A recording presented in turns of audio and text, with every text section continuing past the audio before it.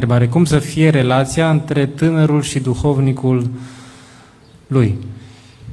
Uh, autentică, cât se poate de autentică. Eu, pe mine ce m-a atras foarte mult în ortodoxie și ce am văzut la călugări, ce am văzut la preoți, e că îs ei.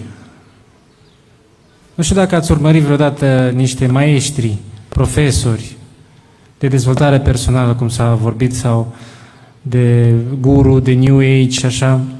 Sunt foarte atenți la limbajul lor corporal, sunt foarte atenți cum ies în poză, cum totul e calculat, tot, tot ca să pară cât mai spirituali.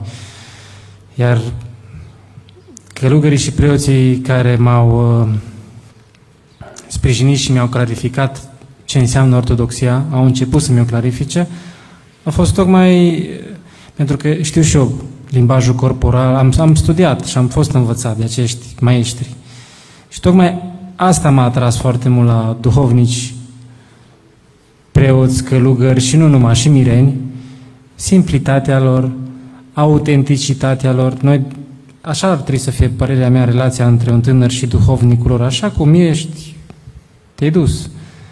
Uh, văd, uh, am văzut așa niște, mă rog, am avut și o dezamăgirile mele și normale în ortodoxie, poate să zic așa, uh, în comunitatea ortodoxă, și să zic poate naivitatea mea și neînțelegerea mea față de ortodoxie și față de comunitatea ortodoxă, că unii ortodoxi practicanți în jurul și în preajma călugărilor, preoților erau foarte uh, evlavioși, așa, erau, părerea mea, mai forțați și când pleca duhovnicul sau călugărul, erau ei înșiși. Să fie ei înșiși tot timpul.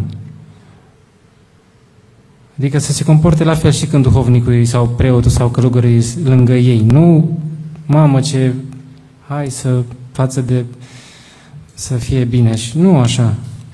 Părerea mea, ortodoxia, ne asta mi-a învățat, să fiu eu. Și cu ce sunt eu, cu bune și cu rele, în special cu ce rele, să mă duc. Da. Vreau să zic și eu uh, scurt ceva. În jurul nostru, 80% din cunoștințele noastre, din păcate, nu spun tot la spovedanie. Am întrebat de ce, de curioasă. Pentru mine nu prea există. Dacă nu spui tot ce ți amintești, ok, că uiți una, dar că ascunzi, deja e o problemă. Am întrebat de ce. Păi mi-e jenă. Păi de cine? Că tu ești în fața la Dumnezeu, tu nu ești în fața la Popescu, eu am preot de 10 ani sau călugăr de 5. Uh, cred că e văzută prea personală ne axăm un pic pe, pe partea umană a spovedaniei, când de fapt spovedania e în fața lui Dumnezeu și atât.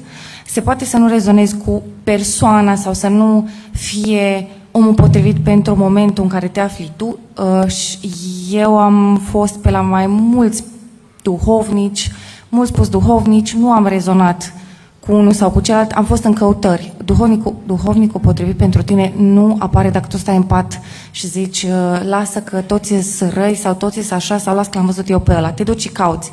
Eu mi-am găsit duhovnicul la 28-29 de ani, dar de când am înțeles că trebuie să mă spovedesc, nu știu, să fie vreo 15 ani, 17, 20, am mers, am stat mai mult la unul, la celălalt, până am găsit omul potrivit pentru mine.